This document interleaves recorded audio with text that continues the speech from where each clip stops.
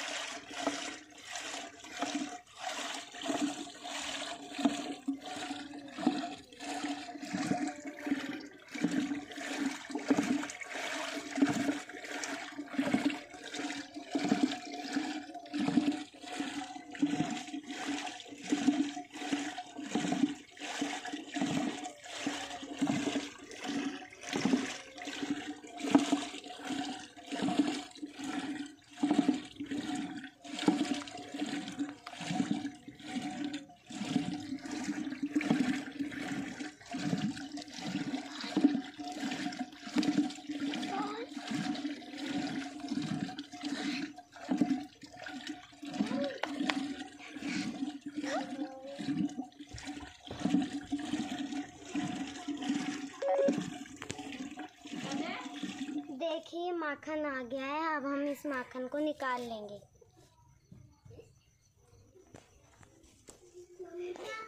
good luck